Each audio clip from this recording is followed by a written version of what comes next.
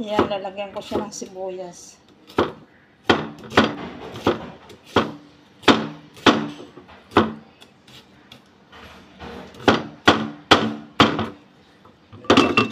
Lalagyan ko siya ng sibuyas sa aking piprituin na ito.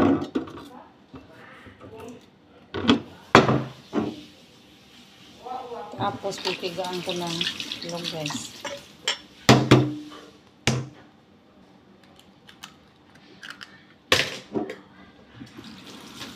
Nugasan ko yung itlog kasi marami.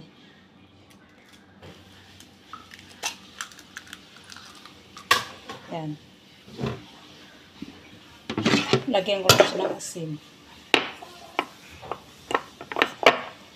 At saka yung powder na paper. So, na. Papagayin ko na siya. Ayan, piprituin ko to guys. Ito lang siya.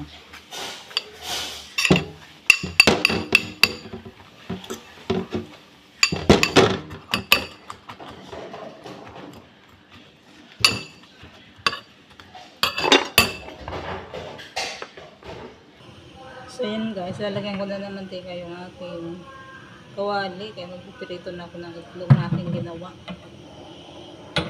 Pwede na to siya ilagay kasi mainit na yung kawali.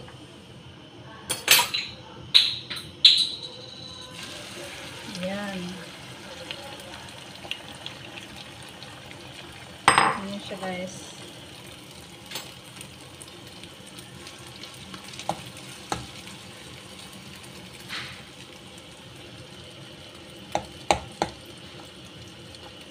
Ganyan ang itsura niya. Gulay na lagyan ko ng itlog, pinarito. Ulam ko ito ngayon.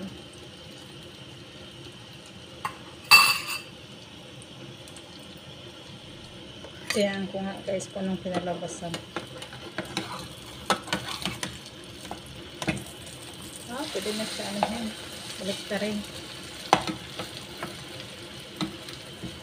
Ayan, binaliktad ko na siya. So, yan ang aking ulam ngayon. Itlog na may gulay.